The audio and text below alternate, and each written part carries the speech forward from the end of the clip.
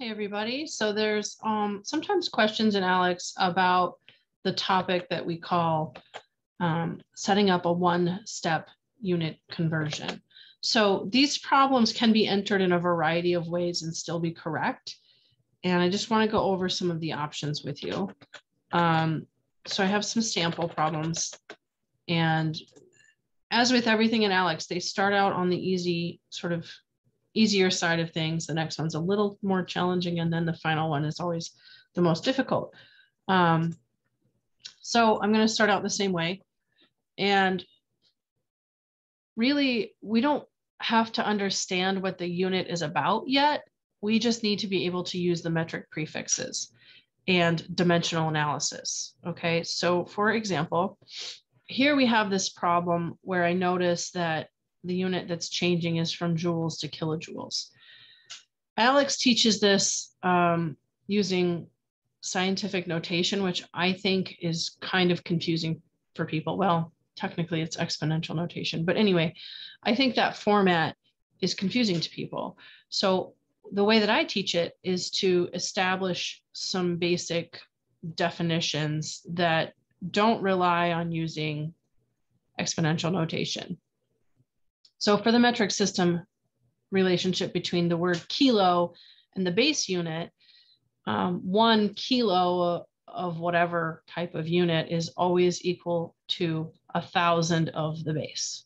So like, for example, if we were doing um, a distance as the base, I could write one kilometer is the same thing as a thousand meters in ALEKS, they'll do it like this. They'll do 10 to the three meters equals one kilometer.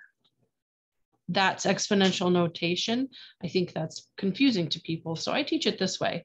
And as it turns out, ALEKS will accept your answers if you use this conversion factor.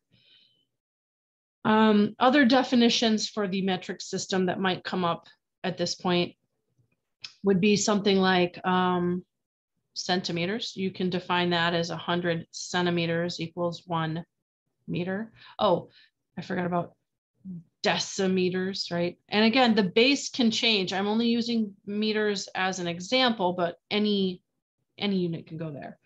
So deci means 10 of them for every one of the base. Um, milli is a thousand for one of the base. Let's see,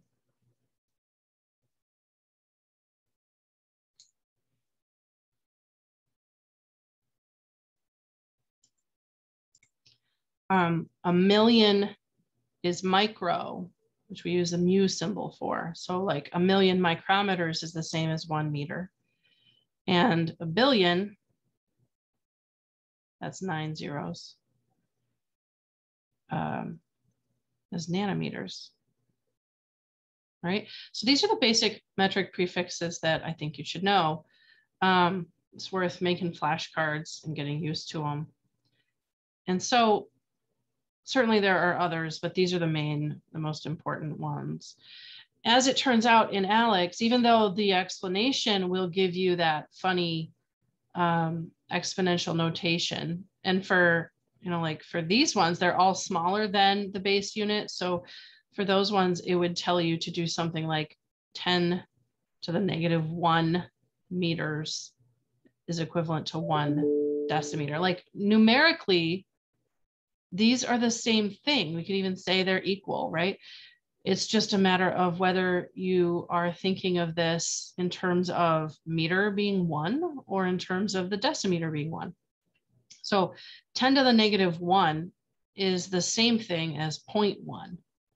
And so if we have 10 to the negative one meters, we have 0.1 meters. That's also the same thing as one tenth of a meter.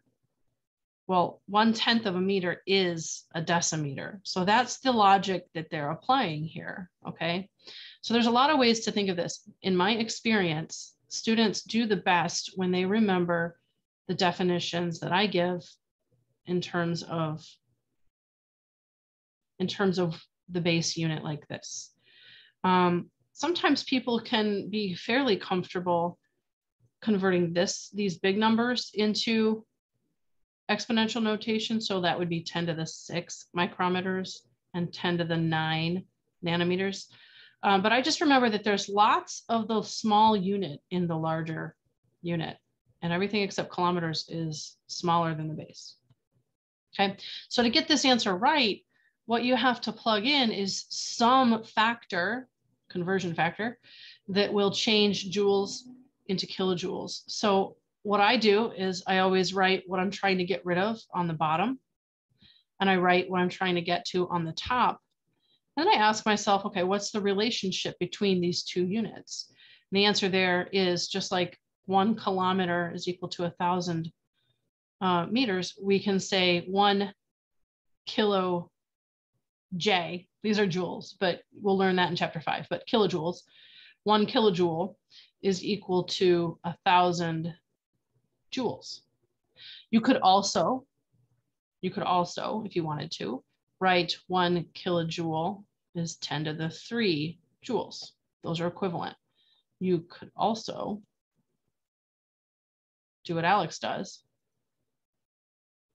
and write it as 10 to the negative 3 kilojoules per one joule. That's the same thing. Numerically, you have 10 to the 3 in the denominator. So if I wanted that to be in the numerator, I just make it 10 to the negative 3. Okay, these are exponent, oh, exponent rules essentially. All three of these options, when typed into ALEKS, will give you the credit for the question. So you get to pick. Okay, so now going on to the next kind of question. Um, they'll put the unit you're trying to change into the denominator. So in that situation, uh, we're going from grams per milliliters into times something into grams per liter. So I notice that milliliters and liters are, are the conversion we're using here. So dimensional analysis still works, but instead of putting the, the unit I'm trying to get rid of on the bottom, because it won't cancel. They have to be across from each other to cancel. I'm going to put it on the top. So I'm going to put milliliters on the top. I'm going to put the thing I'm trying to get to on the bottom because that's where it is in the answer. And so the relationship milli is one of the base to a thousand milliliters in this case. Okay. So that's what I could put into there. But again, ALEKS will accept other answers. You could put in 10 to the three milliliters per liter. You could also put in, I, I don't think anybody would do this maybe, but you could. Uh, maybe you would do it. I don't know. Um, you could put it in that way. All right. I think the easiest thing to remember are the whole numbers. So a thousand mils for one liter. Okay. Now on to the third type of question you get. This one is sometimes squared, sometimes cubed, but it's always, um, we have to use the, the rules for exponents. All right. And so I notice we're going from centimeters cubed to meters cubed. So the mistake people often make is to just put in um, centimeters on the bottom and meters on the top. And they would go like this and they would think they're done. You're not because a centimeter and a centimeter cubed are not the same thing. So in order to convert, what you need to do is cube the entire relationship. So this 100 centimeters for a meter is always a truth. And, and all I have to do to make it into a volume unit is cube the whole thing. Okay, so one cubed is just one. My unit gets cubed too, so now that's a meter cubed. Um, a hundred cubed is not just a hundred, right? A hundred cubed is a, a hundred times a hundred times a hundred. And so that's going to give us um, a million, I think. Yep. So you could write it out if you want to like this, or you could use scientific notation, but now that's centimeters cubed. All right. So now it's a volume conversion. Um, so I could use it this way. I could also write one meter cubed per 10 to the six centimeters cubed, or I could flip it and write 10 to the negative six meters cubed per one centimeter cubed. They are all correct. All of the ones on the bottom are going to give you the right answer. You can't, um, well, I shouldn't say that, I guess. I'm going to circle in pink the ones that well. These ones will give you the credit for the question. This one does not because you have to distribute the, the cube in order to get the factor correct.